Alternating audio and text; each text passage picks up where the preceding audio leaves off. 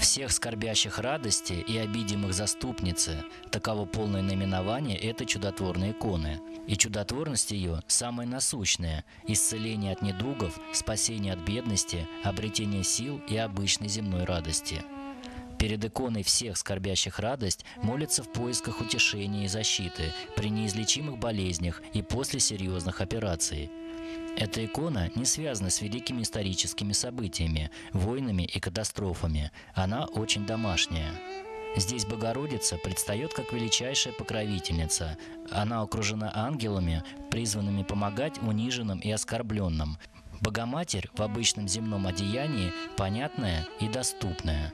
Видимо, поэтому эта икона так любима в народе, и ее можно найти почти в каждом православном храме.